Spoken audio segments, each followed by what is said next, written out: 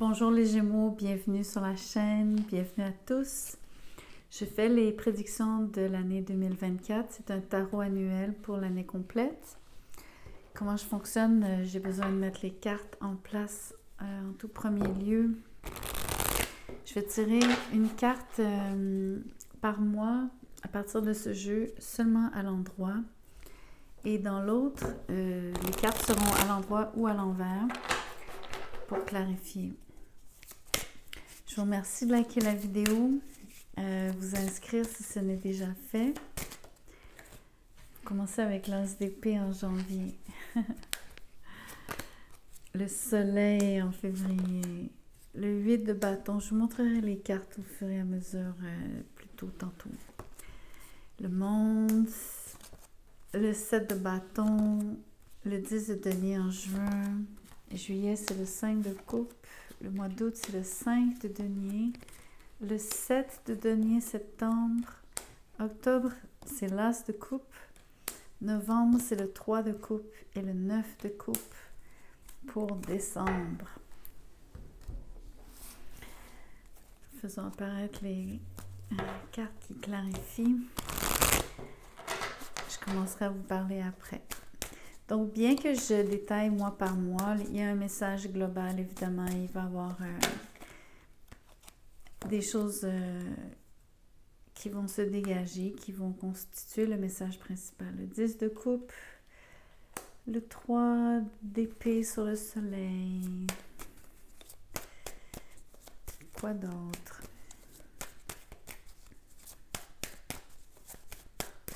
Il n'y aura pas de section, je ne ferai pas comme un message en amour, un message en affaires, etc. Donc, euh, c'est pas ce genre de euh, prédiction annuelle.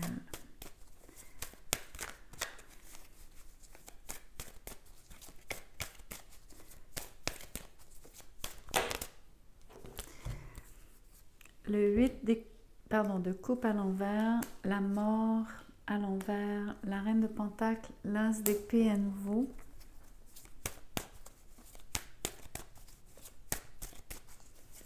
Vous allez apprendre beaucoup de choses cette année.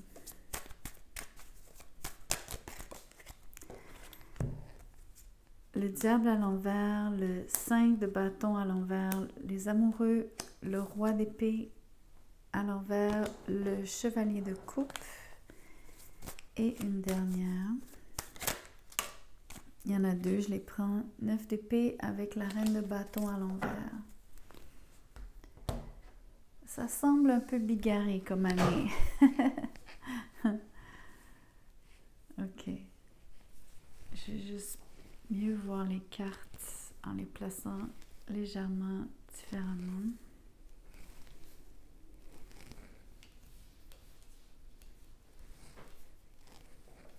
Ok, on commence avec janvier.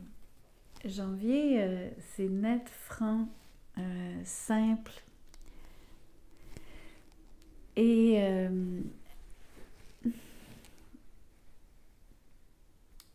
j'ai envie de dire euh, gay. Donc,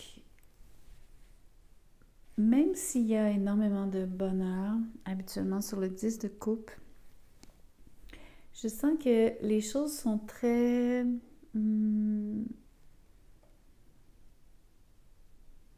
elles sont tellement définies que ça laisse pas beaucoup de place pour euh, les imprévus, ça laisse pas beaucoup de place pour euh, ce qui est euh, justement le ressenti des coupes, des émotions. On dirait que les choses sont trop définies. Donc c'est oui, c'est une période très agréable. Il y a beaucoup de gaieté, c'est heureux mais c'est pas une c'est pas l'extase et c'est pas le, même ressenti que quand vous baignez dans cette euh, ambiance. Ça fait penser à des choses vraiment plus euh, détachées les unes des autres, un cumul de choses qui vous plaisent et qui constituent votre bonheur. Vous allez me dire, c'est bien assez, on est content. oui, euh, mais c'est juste pour vous expliquer qu'il n'y a pas la même, euh, le même genre de... C'est pas du flou, c'est juste quand les choses euh, finalement déteignent les unes sur les autres et que c'est l'ensemble qui forme le bonheur. C'est beaucoup plus des choses euh, qui se vivent ponctuellement aussi. Tout est très tracé, délimité. Donc c'est un peu étrange comme bonheur. c'est assez contrôlé en fait. Mais les choses sont vraies, on va dire ça comme ça, sont claires. Au mois de février, je suis pas trop certaine de ce qui se passe euh, parce que en fait, à mon avis, c'est une guérison d'une blessure d'amour parce que le soleil ici vient cautériser toutes les, toutes les blessures pour moi. Mais en même temps, euh, c'est aussi une forme de la guérison vient par l'illumination. Donc en fait, c'est le soleil met en lumière vos blessures amoureuses, met en blessure euh, votre douleur. Donc ça, c'est important à noter. Si vous vouliez cacher quoi que ce soit, c'est impossible. C'est un peu comme cette énergie-là. Pouvez pas cacher votre bonheur, mais il est étalé. Il est donc euh, bien circonscrit, si on veut. J'ai même envie de dire, il est bien détaillé. Je vais euh, interpréter mois par mois, je vais sauter d'un mois à l'autre, euh, bien que je le fasse une première fois en séquence. Mais après, il va se dégager un seul et même message. Donc, ce qui va être le corps du tirage. Le 8 de bâton, beaucoup, beaucoup de mouvements, beaucoup de communication, des petits voyages. Je vous sens très actif. Je vous sens actif tout le début de l'année, en fait. Je pense que vous êtes euh, bien dans votre peau, euh, malgré peut-être euh, une certaine douleur. Pas physique, bien sûr, mais en termes d'énergie, vous êtes, euh, vous êtes plein d'allant. Il y a une situation sur laquelle vous avez besoin de vous attarder par contre. Vous ne pouvez pas comme passer par-dessus ou, ou à côté. Euh, vous ne pouvez pas aller trop vite. Vous n'allez pas pouvoir la contourner celle-là. Vous allez être obligé de l'adresser. À mon avis, c'est la même énergie que ça ici. Vous êtes comme... Euh, vous allez être obligé de regarder au microscope de plus près euh, ce qui vous habite, ce qui demande ici d'être vu, parce qu'il y a plusieurs cartes qui vous disent qu'il faut que ça soit vu, que ça soit su. À mon avis, le bonheur en dépend, entre autres, en couple avec quelqu'un de nouveau. Euh, ça peut être quelqu'un avec qui vous êtes, bien sûr, pas nécessairement nouveau dans le sens où vous le rencontrez ou la rencontrez en janvier. Mais les blessures ici peuvent être peuvent faire partie d'un passé plus lointain, tout comme elles peuvent appartenir donc à cette forme de bonheur qui est régimentée. Et donc, il y a peut-être des choses ici qui sont dans les interstices et qu'il faut adresser parce que c'est douloureux. L'autre chose qui pourrait être douloureuse, c'est le fait de justement euh, régimenter ce bonheur, le fait de le, compartimentaliser comme ça. Peut-être que ça dérange quelqu'un, peut-être même vous-même. Puisque vous êtes gémeaux, vous êtes euh, beaucoup plus... L'espèce de flou ou l'espèce de, de, phénomène d'une chose qui déteint sur l'autre, c'est quand même assez gémeaux dans le sens où vous êtes tellement versatile, vous voyez toujours les deux côtés de la médaille. Donc vous aimez que les choses euh, aient plus qu'une facette. Tandis qu'ici, c'est ce que je décrivais, c'est une drôle d'énergie. Où est-ce que c'est... Les choses sont vécues, euh, même... J'ai l'impression d'être comme si c'était au compte-goutte. Ah, on fait telle chose, on ne vit que ça de cette façon-là. C'est, tout est très... Euh, délimité. C'est vraiment ça l'impression ici que j'ai. Et je pense que c'est pas nécessairement comme facile. Vous avez presque envie de vous sauver ici avec le 8 de bâton. en tout cas, votre façon à vous d'échapper à ce qui est trop rigide, ce serait vraiment de vous déplacer, d'aller courir voir le monde. donc au mois d'avril, je vous sens... Euh, mars-avril, vous avez donc... Euh, vous avez les valises, je ne sais pas où est-ce que vous allez. Je pense que vous faites des petits et des plus grands voyages. Mais à chaque fois, vous avez une énergie où est-ce que vous devez rester, euh, ou vous attarder à quelque chose. On avait exactement la même énergie. Ce qui est vraiment intéressant ici, c'est que on a deux arcanes mineurs. On a donc une énergie de mouvement et de voyage en mineur avec un vide de coupe à l'envers qui dit que vous n'êtes pas capable de quitter situation, mais tout en mineur. Ici, c'est les majeurs, les ligues majeures. Donc, les ligues majeures ici vous disent euh, comme l'énergie se répète, ça veut dire que deux mois consécutivement, je pense que vous arrivez quand même à vous déplacer. Je pense surtout que vous êtes obligé de toujours revenir au bercail. Je pense entre autres que ça fait partie de ce qui est dit, décidé, convenu à l'avance, de cette euh, façon de faire qui est supposée garantir, entre guillemets, le bonheur de ce couple, de cette situation amoureuse. Donc, à mon avis, il y a de la rigidité. D'ailleurs, le diable est sur la table un peu plus loin. Il est à l'envers, mais on va voir. C'est une bonne chose qu'il soit à l'envers. Je pense que vous allez vous dégager de ce qui est, au moins de ce qui est rigide. Le set de bâton ici, euh, avec la, reine de Pentacle. Au mois de mai, euh, vous avez des petites victoires, bien sûr je pense que vous êtes euh, très confortable, surtout au travail, dans la maison, dans ce que vous faites. Les choses se passent bien. Vous êtes en contrôle. Mais ce n'est pas une forme de contrôle où est-ce que vous avez besoin justement de, tout savoir à chaque moment. C'est plus une question de savoir ce que vous faites, où est-ce que vous allez, justement peut-être en réponse au fait que tout est si bien régimenté. Mais il y a une forme ici de...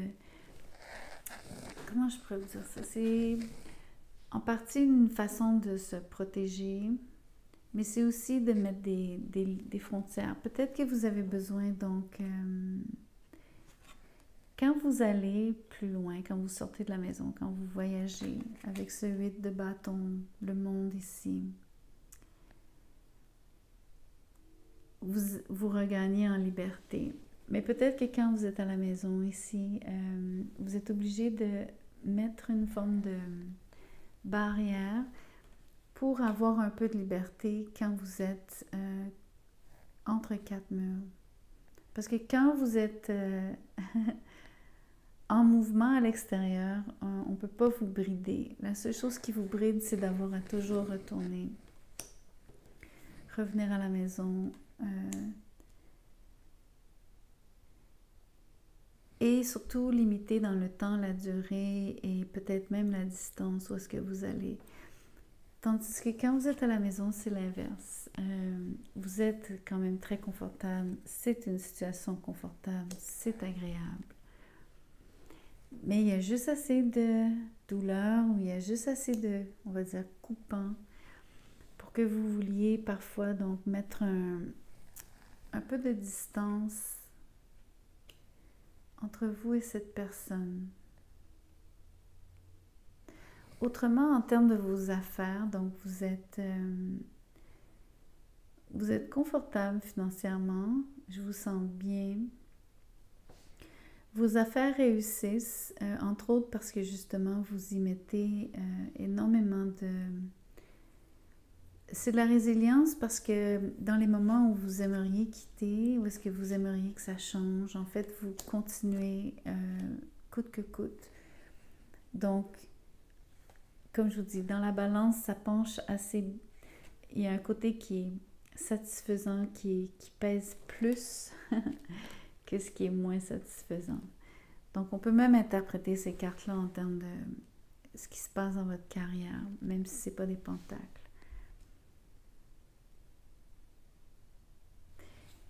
En juin, vous touchez énormément d'argent. Donc, euh, vous êtes vraiment, vraiment à l'aise. Vous avez un, flair pour les affaires. Je pense que vous voyez juste. Euh, même chose, vous avez évidemment les Gémeaux, un talent de communication hors pair ici. C'est directement connecté pour vous. Euh, votre façon de vous exprimer, ce que vous avez à dire, ce que vous êtes capable de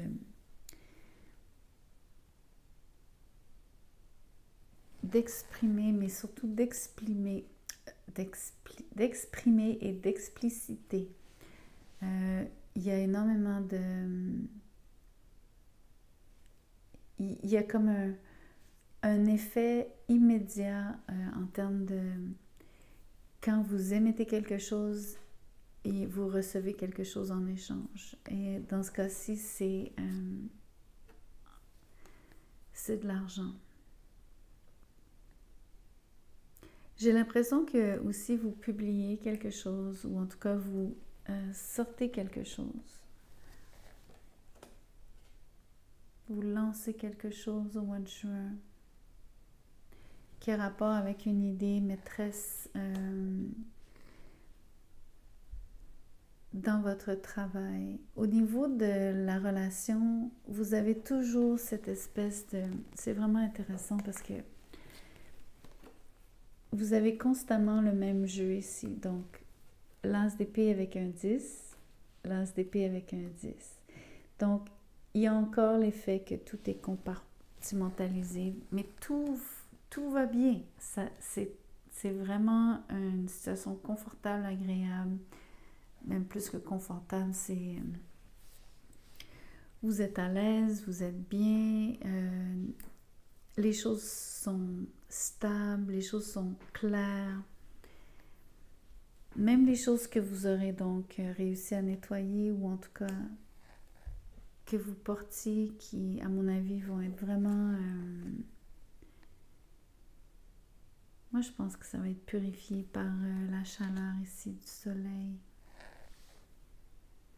Et aussi la chaleur de la personne qui vous entoure.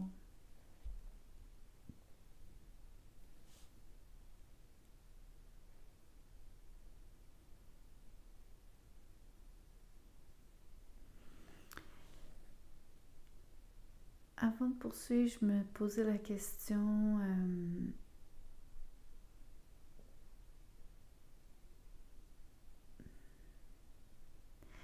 c'est ça. Je vous sens heureux, mais je dois dire que il manque quelque chose. Et même si je vois les choses s'améliorer, il y a toujours euh, il y a quelque chose qui reste. Euh, c'est comme un film.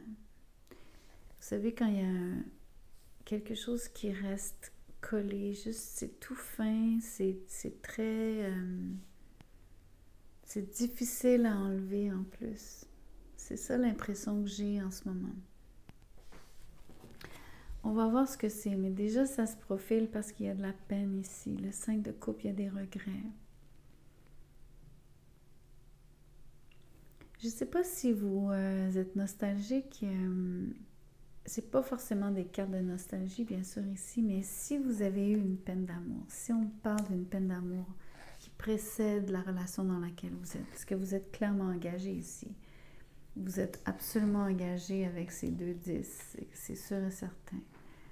Vous avez une, relation qui est euh, affichée, que les gens euh, vous savent. Donc en couple, euh, c'est un succès. C'est vu par les autres. C'est reconnu, euh, accepté, valorisé même.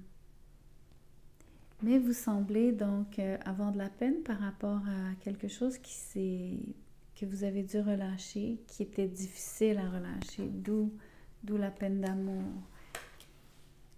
J'espère que c'est pas nécessairement donc les petites choses que je vous disais qui se sont glissées ici euh, entre les, multiples facettes de votre bonheur. Mais on voit aussi encore une fois, il n'y a que des cinq maintenant. Donc cinq de pentacle, cinq de bâton à l'envers, cinq de coupe. Les trois sont, sont collés. Il y a énormément de changements. Ça brasse ici en juillet-août. Mais ça brasse pas comme une cohue, ça brasse comme un par en dedans pour vous.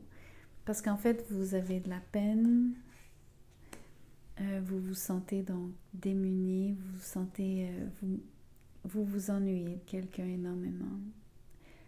Vous vous ennuyez même des, presque des conflits ici. C'est très étrange. Je suis pas en train de dire que vous aimez les conflits, mais euh, vous vous ennuyez euh, d'échanger avec cette personne.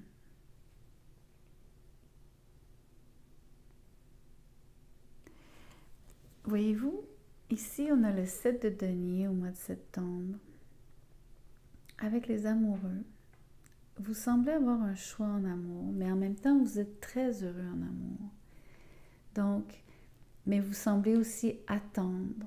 Vous êtes euh, dans une position où est-ce que peut-être que vous êtes, excusez-moi de vous challenger, mais vous êtes trop confortable. Dans cette, euh, j'ai l'impression maintenant que c'est comme une prison dorée ici. D'où cette impression de bonheur que je vous disais qui, qui est un bonheur mais un peu étrange c'est oui, c'est gai. Oui, vous avez quand même le sourire aux lèvres, je vous entends rire.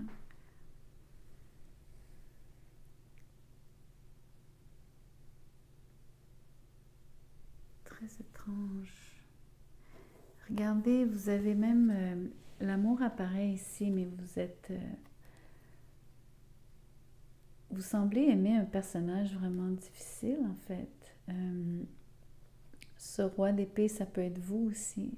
C'est difficile à dire.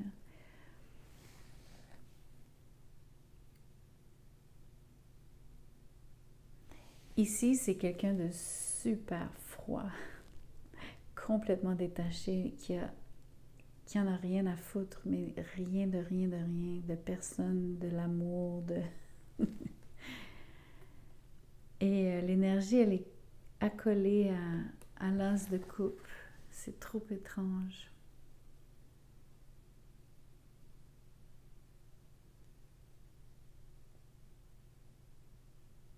C'est comme, euh, depuis tantôt, il y a plusieurs euh, mois qui sont similaires. Où est-ce que il semble y avoir donc du bonheur mais de la douleur. Du bonheur et de la douleur. Ici, il y avait le bonheur, mais il y avait quelque chose de rigide pour moi ici. C'est la même chose ici. Il semble y avoir beaucoup de clarté. Les choses sont très stables et, confortables. Mais encore une fois, il y a une forme de police. Je ne sais pas comment vous le dire. C'est ça l'énergie. C'est la même chose ici. Donc c'est quand les choses sont finalement plus, on va dire, se relâchent, euh, plus euh, j'ai envie de vous dire élastique, parce qu'ici, les coupes, il y a plus de flexibilité, il y a plus de, plus de nuances euh, à cause de l'élément eau, entre autres. Tandis qu'ici, c'est la même rigidité que les, deux as du début.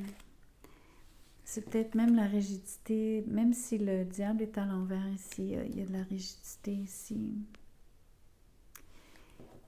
Peut-être que les cinq même euh, peuvent appartenir à cette espèce d'énergie où est-ce que la personne avec qui vous êtes, je sais pas, je trouve ça tellement étrange les Gémeaux. Il y a deux choses. C'est soit vous êtes en couple avec quelqu'un, il y a des avantages, mais il y a aussi des inconvénients par rapport à l'espèce de connexion que vous avez, l'affection, le côté chaleureux et hmm, j'ai envie de dire humain bien qu'on s'entend, vous êtes, on est tous des humains, on est sur cette terre et tout, mais c'est le côté euh, empathique, disons. Ici, le, manque, c'est comme cette personne-là qui est... Elle est tellement froide que elle est creuse.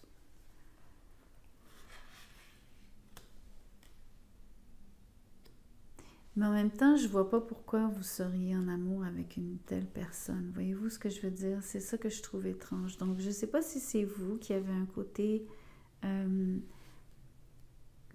un peu comme le phénomène d'être... Euh, vous êtes en couple, mais c'est soit une prison dorée. Donc, vous êtes bien, c'est confortable, il y a plein d'avantages, mais il manque toujours quelque chose. Il manque surtout la dimension. Donc, euh, vraiment de connexion. Parce que même quand il y a de l'amour ici, il y a encore l'impression d'avoir un choix. Puis il y a l'impression donc d'attendre euh, que dans le fond, euh, ce ne sont que des, des boutons ici, comme les boutons d'une fleur. Donc c'est pas éclos, c'est pas épanoui. On n'y touche pas vraiment. Même chose là où est-ce qu'il y a vraiment donc la chaleur, en fait il y a de la douleur qui s'y mêle. Quand on pense qu'on relâche quelque chose qui est toxique, en fait on a de la peine. Ici, euh, là où est-ce qu'il devrait y avoir de l'amour, euh, il y a juste beaucoup de distance. Aussi, cette impression de mettre de la distance deux fois mais d'avoir toujours l'impression de faire du surplace parce que quelque part, euh, votre liberté n'est pas complète. Vous savez, on peut être libre euh, même en couple. Euh, c'est-à-dire quand on vit bien sa vie de couple, normalement, on devrait pouvoir se sentir très à l'aise d'aller et venir en toute confiance. C'est pas ce que je ressens ici. Ça change, heureusement. Novembre est un mois où est-ce que, par contre, il y a trois coupes. Hein? Trois d'épée. Peut-être qu'il y a donc l'histoire du choix.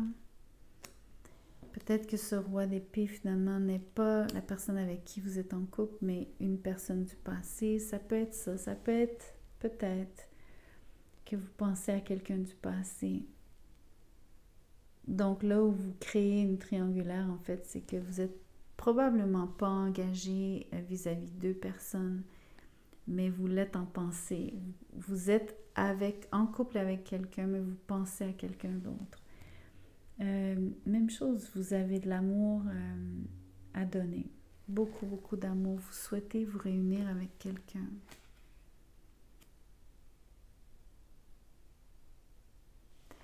On va mieux comprendre avec décembre. Ici, le 9 de coupe. Le fameux bonheur euh, que je dis que vous avez, mais où est-ce qu'il manque quelque chose? Là, ici, ça serait donc une forme de, de bonheur. Euh, un, plus qui serait autogénéré. Donc, contrairement à ici, on est en couple, on est en famille le bonheur vient entre autres d'être euh, avec les autres. Ici, on est un peu plus indépendant dans sa façon de ressentir le bonheur.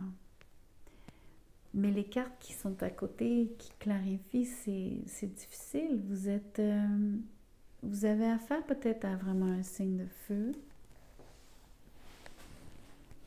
Une grosse personnalité, vraiment très, très, très, très forte ici celle qui, contrôle, euh, qui impose, euh, en fait, qui impose même la forme que votre bonheur doit prendre.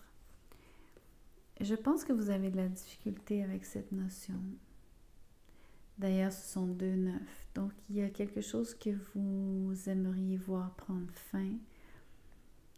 Euh, il y a quelqu'un qui est entre autres difficile avec vous, qui réagit par, avec jalousie, avec beaucoup de... qui crée du drame. C'est très, très stressant pour vous.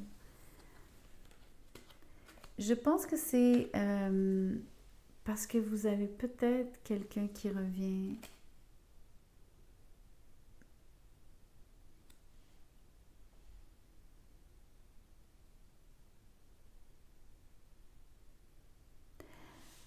Ça se peut même que ce soit vous qui fassiez le, geste, en fait. Je vous dis ça parce que c'est vous qui avez besoin d'aventure, c'est vous qui voulez vous déplacer, qui aimez voyager, c'est vous qui avez besoin de plus d'espace, c'est vous qui vous sentez euh, étouffé ici à la maison, même si vous êtes confortable. Euh, tantôt, je pensais que vous mettiez euh, une forme de barrière, mais en fait, je pense que c'est parce que vous êtes encerclé. C'est beaucoup plus.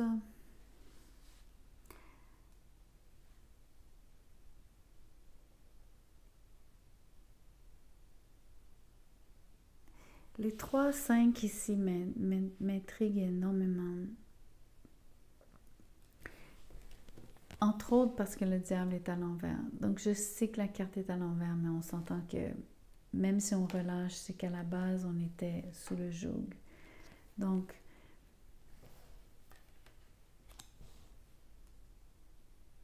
ici, j'ai une énergie où est-ce qu'il y a de la trépignation. Mais c'est pas euh, joyeux, là. C'est comme... Euh,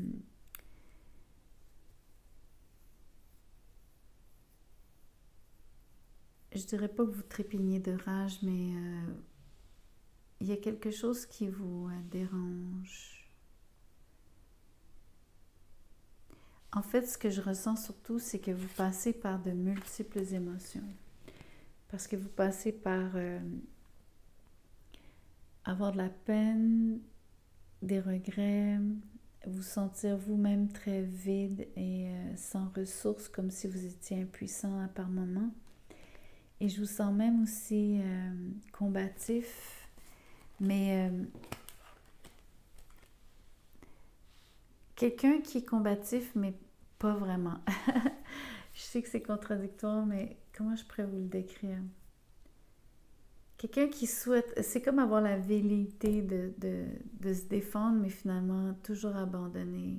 Euh, ou quelqu'un qui, qui argumente, mais avec pas beaucoup de vigueur, quelqu'un qui, essaye peut-être de faire valoir son point, mais qui finalement pousse pas vraiment assez pour euh, remporter l'argument ou euh, faire valoir son opinion, ses idées ou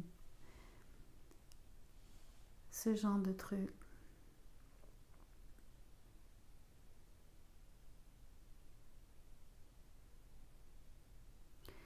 Ce qui est fascinant, c'est que le mois le plus, euh, le plus beau mois pour vous, c'est novembre. Mais ça semble être une réalité qui est en dehors de ce que vous vivez dans votre quotidien sur l'année, durant l'année. Et je peux vous dire que il y a des conséquences sur votre état d'esprit général. Euh, j'ai même envie de vous dire, je me demande s'il n'y a pas des conséquences, euh, cette fameuse impression d'avoir la, police ici, les, deux as avec les deux 10. Donc, euh,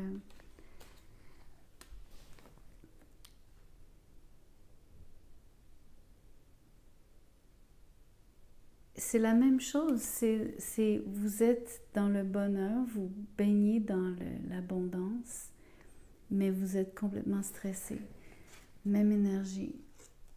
Être super... Euh, tout est supposé être super beau, mais ça fait mal. C'est la même énergie. Et puis maintenant, on voit, donc ça c'est le signe du lion. Le signe du lion renvoie, bien sûr, au soleil. C'est pour ça que je vous parle d'un signe de feu. C'est pas forcément un lion, mais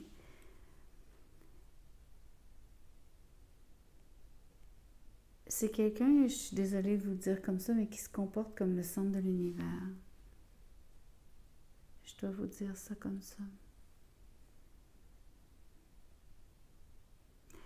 Vous êtes presque emprisonné, presque. Mais c'est surtout mental, bien sûr. Quoique à mon avis, votre euh, liberté de mouvement est quand même, euh, on le voit très bien au printemps. Vous êtes euh, régimenté, contingenté, entouré, encadré, surveillé même peut-être?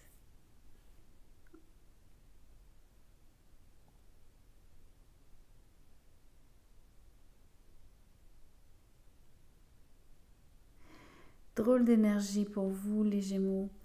Ça se pourrait que ça soit euh, aussi votre propre ambivalence. Euh, avoir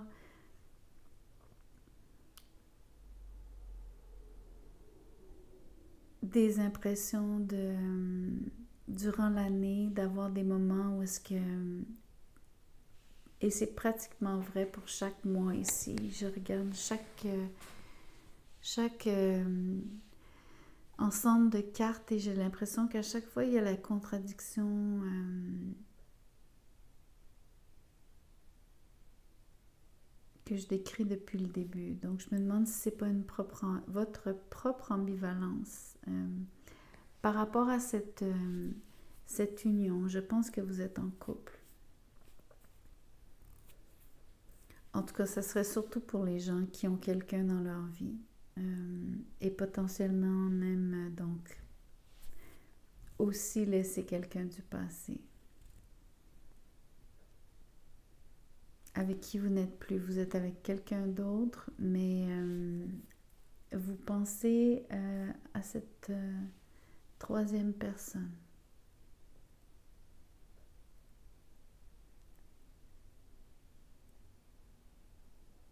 D'où votre ambivalence. Vous êtes même... Euh, donc c'est peut-être ça l'impression de rigidité du début, c'est votre incapacité à vous lâcher complètement parce que euh, vous n'arrivez pas à être parfaitement heureux. Parce que vous avez quelque chose qui est... Euh, s'est jamais terminé. Il aurait fallu que ça se termine, mais vous, vous êtes resté collé. Vous avez relâché quelque chose, mais vous êtes resté avec la peine. Vous attendez toujours l'amour. Peut-être, donc, vous pensez que vous avez peut-être même encore le choix. pas sûr que ça soit vraiment vrai, bien que ultimement, oui, peut-être que vous avez toujours le choix, bien sûr. Je m'arrête ici.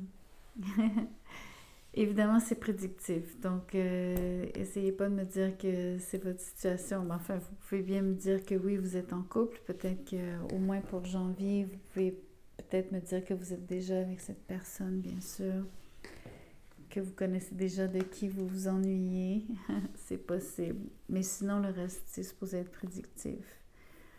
Donc, c'est normal si vous vous n'y reconnaissez pas. Merci de liker la vidéo, merci de partager, vous inscrire, etc.